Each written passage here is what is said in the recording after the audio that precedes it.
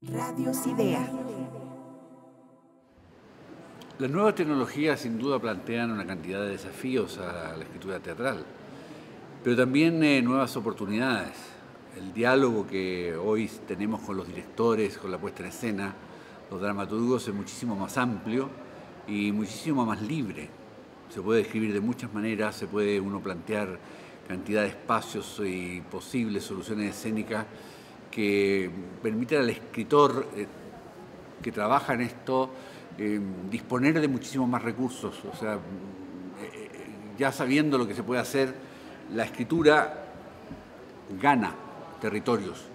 Ahora, por otra parte, el teatro sigue siendo un espacio efímero, único. O sea, sigue siendo una experiencia no repetible. Sabemos perfectamente, y lo dice todo el mundo que ha participado en teatro, lo vive, que no hay una función igual a otra. Y esto de no ser repetible, de no ser una tecnología de la repetición, vuelve curiosamente más potente la experiencia teatral. Por eso los actores de televisión, los actores que trabajan en el cine, siempre quieren volver al teatro, volver a esa experiencia que va a ser de una sola vez. Y entonces ahí renovarse, renovar su fuerza, su capacidad de intérprete, su genio, su talento, su ángel.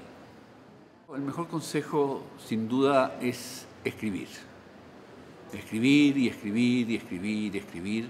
Y por supuesto leer y leer y leer y por supuesto ver mucho teatro y ver mucho cine y ver muchas series e ir descubriendo los artilugios de la estructura, del guion, de la construcción dramática. Ahora, sin duda, eso tiene que ir acompañado del trabajo con actores, del trabajo con directores, del diálogo con todos los miembros de la puesta en escena. O sea, la puesta en escena es la que inspira al dramaturgo. Eh, la dramaturgia parte en el escritor, pero sigue luego lo que va a hacer el director, lo que van a hacer los actores y lo que finalmente va a entender y hacer el público con su mente, con el material que uno le entrega. Por eso el proceso dramatúrgico no cesa nunca y no hay que eh, ponerse triste ni bajar los brazos cuando eso aparentemente no resulta. O sea, le pasó a Chekhov que primero le montaron mal la gaviota antes de encontrarse con Stanislavski y encontrarse realmente con el teatro que él quería hacer. Le, ha pasado a todos los escritores de teatro, encontrar quién entiende, interpreta y pone en escena tu material. Por eso el consejo eh, es no bajar los brazos y seguir buscando nuevas formas, saber que estamos en un momento de gran libertad para la escritura y eso aprovecharlo.